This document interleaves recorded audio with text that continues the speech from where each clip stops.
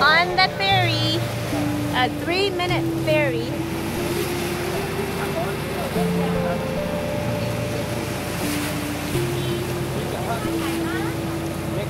And I've never had so much Wi-Fi, so it's supposed to be unlimited.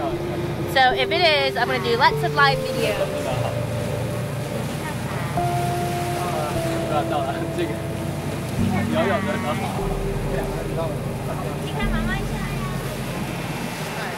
So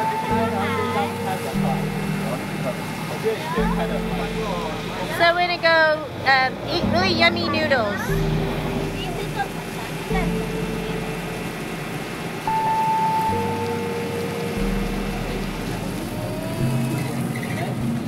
So I'm gonna turn this off and we're gonna go walking.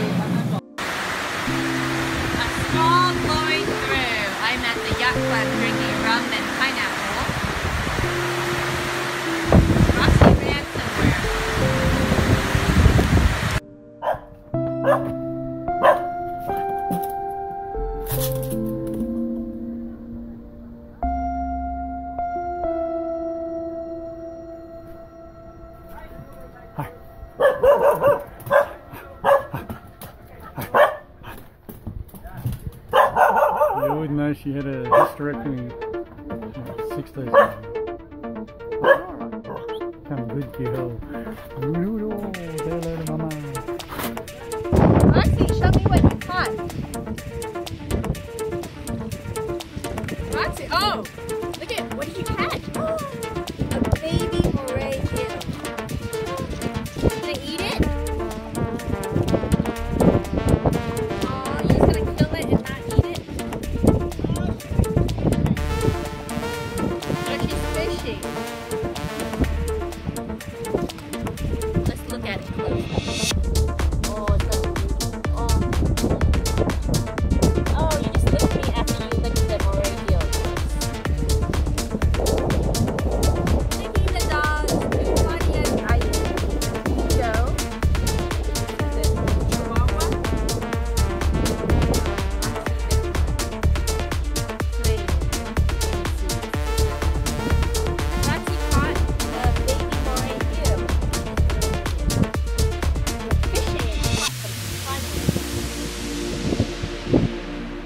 Roxy. Roxy.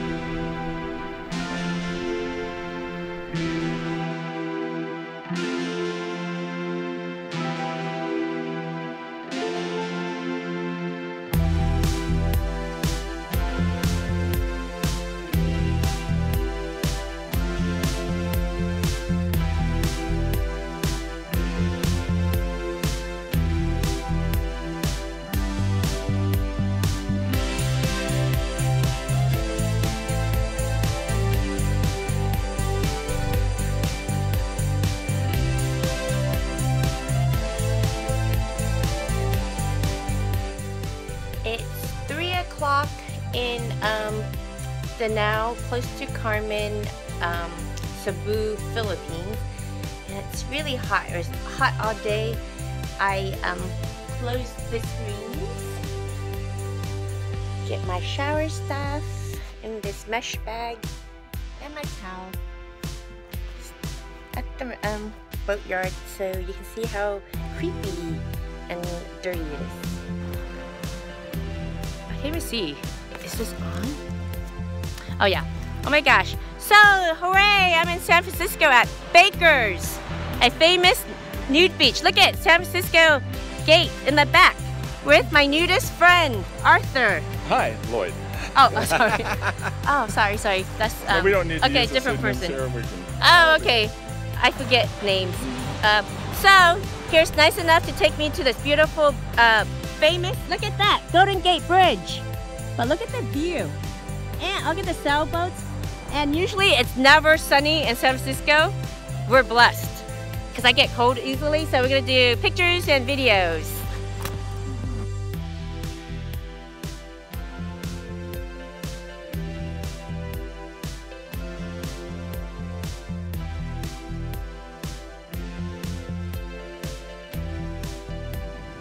So leaving Baker's Beach. I'm not gonna show anyone because that's rude. Except Lloyd in the background. so, um, it's like, how hot do you think it is? 80 degrees? 85 at least. It's like 85 degrees, which is amazing for San Francisco. So, but the heat is too much for us. Um, so we're gonna head out back to San Jose to Lupin, where it's a uh, naturist retreat resort. So we're gonna do a video of that. So we're gonna head out and hopefully we can share uh, pictures soon. But it's gonna take a while for me to import things. Okay, so beautiful beach.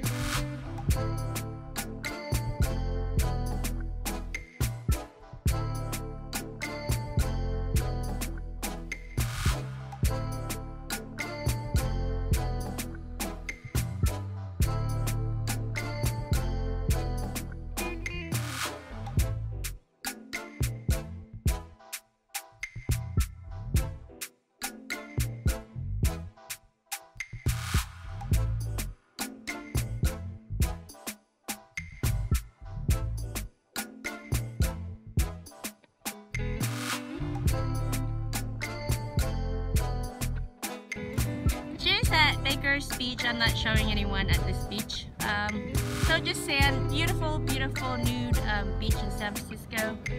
And it's so sunny, and this is sort of an amazing sunny day because it doesn't really happen that much in San Francisco. And it's so super hot, we have to go. So,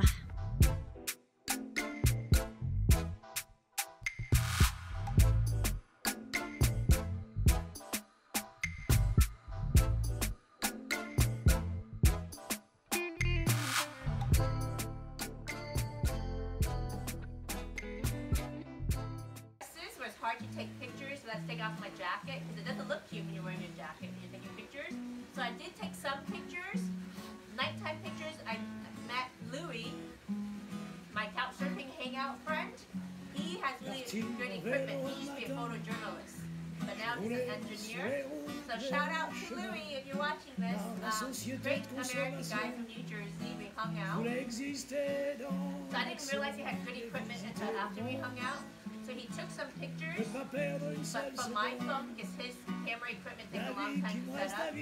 But later at the church, he took some nighttime aussi, je voulais pictures, panoramic, that he'll let me borrow.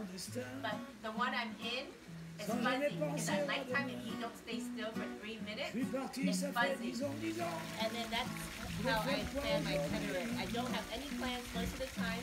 Unless it's something big, then I'll be like, I want to see that. But if it's not big, then I don't really have plans. I just sort of roam around the city, the beaches, camping. I hitchhike. So the food I really enjoyed. So that was a splurge for me just for my me 44th birthday. Um, if I was with her, I'd probably eat a little bit cheaper because we have to pay for the room and share. So that's the story. But I know one day she's gonna parents, um, realize and we'll become friends again. It might be one or two years, but that's okay. Some friendships need time apart. And yes, I'm very annoying to travel with. I'm a gypsy hobo. I'm maybe too flexible and too gypsy and too hobo for most people to travel with. So I've learned my lesson. Do not travel with anybody but my partner. With my boyfriend, I've traveled with before Portugal. we met each other. We did road trips, and he's very easygoing. We camped out at places. Because Australia is huge. So we were just driving for the whole day, and when we got tired, we'd just find a corner to camp out at, and he'll do a fire, and we'll go to sleep Le and wake up the next morning and keep driving, driving for seven days. So if someone can do that, they can probably do gypsy hobo with me. Someone that can't camp out will probably murder me. So La Slovénie.